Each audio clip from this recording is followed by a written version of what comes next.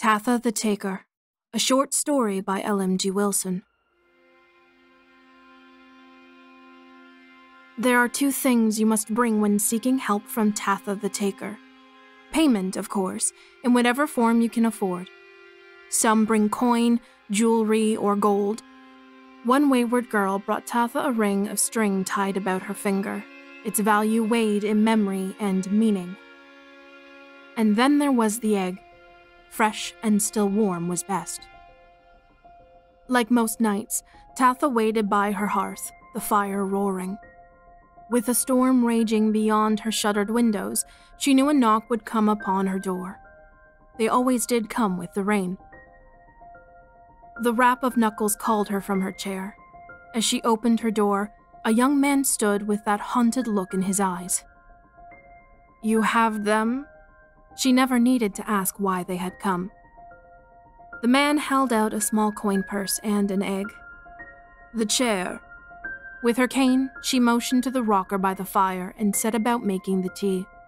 Within minutes, water roiled in the pot, and she sprinkled valerian petals to steep.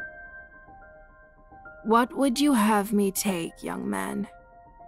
He stared into the fire, and she thought him far younger than she first assumed. Not in years, but in heart, like a child with new pain. My father's last words, he whispered.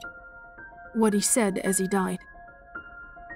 With the tea steeped, she poured him a cup and traded it for the purse of coin. As you drink, you hear only my voice. She snapped her fingers in a soft and perfect rhythm. Not the storm, not the fire, not the beat of your own heart, as he drank, the lids of his eyes relaxed. Hold the egg gently and tell me your father's last words. He sipped the tea. You. You're the reason your mother's dead. You are the blight of my life, and I am glad to be rid of you. He related the words plainly, the trance of tea and rhythm drowning the sorrow in such a cold parting. Tatha sighed. No, those are not your father's last words. He passed silently. Only a steady breath of release left him in the end. She paused, her fingers aching from the motions she'd repeated more times than she could count. Tell me again of your father's last words. He had none. He passed silently. Only a steady breath of release left him in the end. Tatha nodded. After your next sip, you will hear the storm, the fire, the beat of your own heart.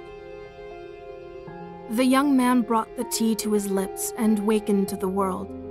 Familiar and healthy grief replaced the haunted shame he'd held before. He left the egg and was gone from her cabin.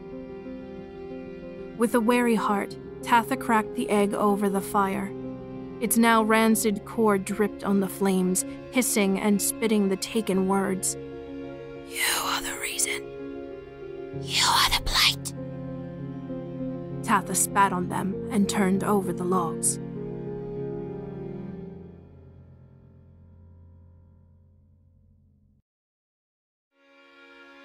Thank you for listening. If you liked this short story and want to hear more, make sure you like and subscribe to stay notified. You can read my work on Reddit or support me by becoming a patron for exclusive early access to stories, serials, updates, and narrations. All links are in the description below. And of course, thank you to my patrons. I wouldn't be doing this without you.